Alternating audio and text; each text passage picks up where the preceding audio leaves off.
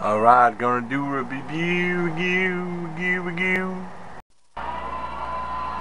Yes, they have new products here, my Legion, uh, of microwavable sandwiches. This one right here is great value meatloaf sandwich. Fully cooked meatloaf with ketchup on a bun. And there's two of them in here for $4. And they have a whole bunch of new, brand new products. Well, new to me anyways. And I'm to be reviewing a whole bunch of them in the uh, near future on my channel.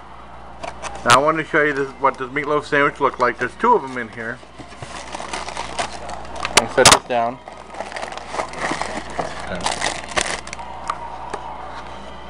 This is what the sandwich looks like right here. A giant meatloaf patty with a ketchup on a bun right here. And you're supposed to microwave this for like two to two and a half minutes and then let it sit for a half hour. Half, half hour.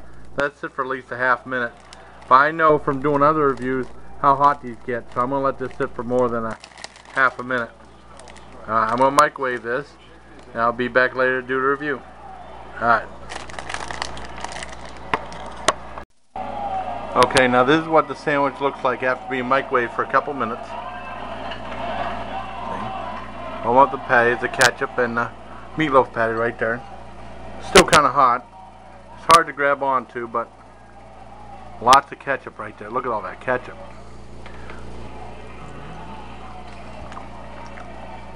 Hmm. Mm, see what it looks like in the mill.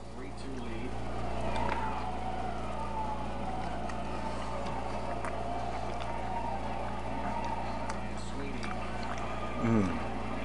Well, that ketchup is so good. This kind of tastes like uh, the meatloaf you get out of a TV dinner, but better. I think it's really good. I like the bun, the uh, way the bun is and stuff. It's pretty hearty meal, a pretty hearty sandwich.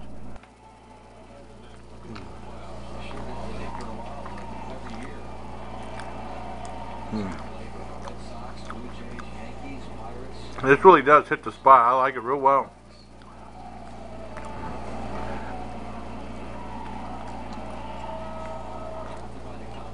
I said from Walmart, a package of these is like two dollars. We got a whole bunch of other frozen sandwiches. I bought a couple more, but I only have so much room in the freezer. I'd probably give this an 8 out of 10.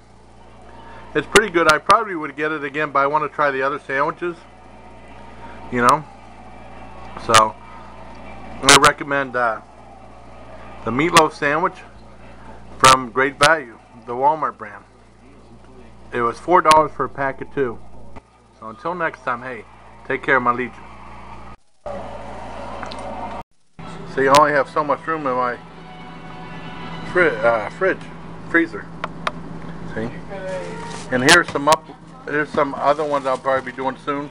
I got the chicken bacon ranch one from Walmart, and I got my dad's gonna have one now, but I'm gonna do the chili cheeseburger whenever I can. So, see you then. Alright, cool.